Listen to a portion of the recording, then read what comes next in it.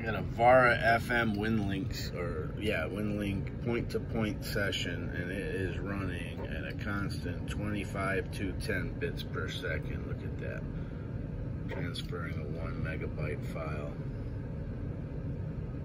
Vara FM Wide really rocks. It was the fastest at sending my little Balun Shootout JPEG, which was a 40 kilobyte JPEG. Vara Wide sent it in 33 seconds. Narrow was 39 seconds. Packet took 30 minutes. Let's see how, now this one is one megabyte. We'll see how long this one takes. Pretty amazing this Vara. And it's consistent too. Staying right there at uh, speed level 12, which I think is one. Ooh, must be some noise causing a drop. Just dropped down to speed jump back up to speed level 13, 25 to 10. Look at that. That's the fastest speed, I believe. And if you double that, that's the sample rate. So you're not going to get any faster with 48 kilobit per second sample rate on a sound card. That's that's as good as it gets in the digital transfer world with 48 kilobits per second sample rate. Kilohertz rather.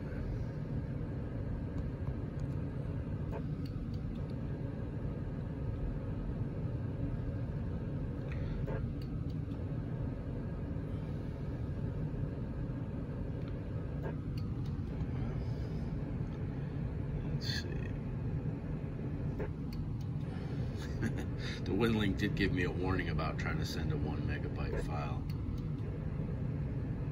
It's really interesting when you think about how quick the internet is now and how you can transfer massive amounts of data in such a short time. And you really see here what a technological marvel that is.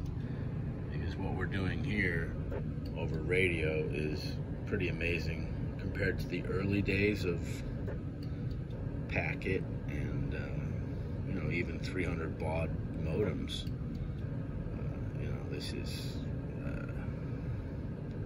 quite a bit faster than that. 25,000. We started in the early days at 300, then we went to 1200, then 2800 was wow, you know, and then 56k was like 56k dial-up, which was basically twice as fast as this, and you were, you know, using it to browse the web. Just crazy. We're almost done here. Let's see how long. We're at two minutes. Going into three minutes. It's cranking along pretty well. First radio is a Kenwood TS2000 uh, using a SignaLink black transformer. And the second radio is a little FT8, or FT, yeah, 818, using a SignaLink red transformer. So we're proving here that the red transformer SignaLinks can still do VARA FM wide, despite what the pundits say. Actually, I've got this one set uh, on low power mode. I don't know if you can see there. So that's like half watt mode.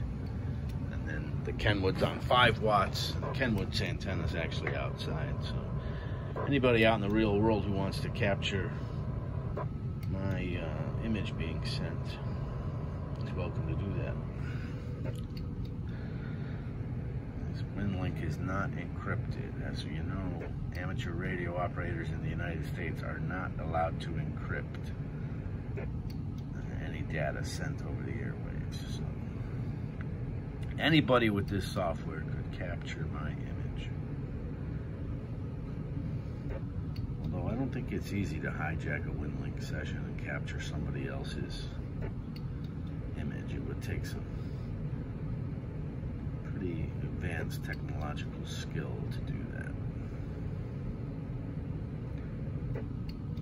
All right, we're almost there. Let's see. We are almost there. Almost five minutes, it looks like.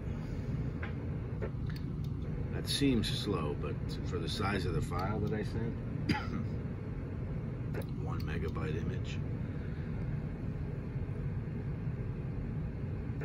it's actually pretty impressive. All right, almost there.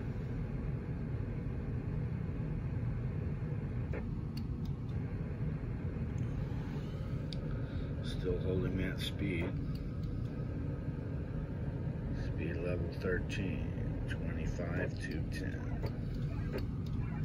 Here we go. It took 6 minutes and 21 seconds to complete. If we go over here,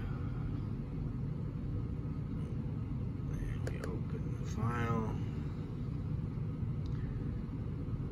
view attachments. Notice how when it was, actually 930 kilobytes. You notice how they, it was marked red, warning this will take too long. And there you go. I sent a picture of my Kenwood TS830 over the air from one machine to another. And that's Vara FM wide for you. Pretty darn impressive. Take care out there in Radio Land. KC8 ZKI.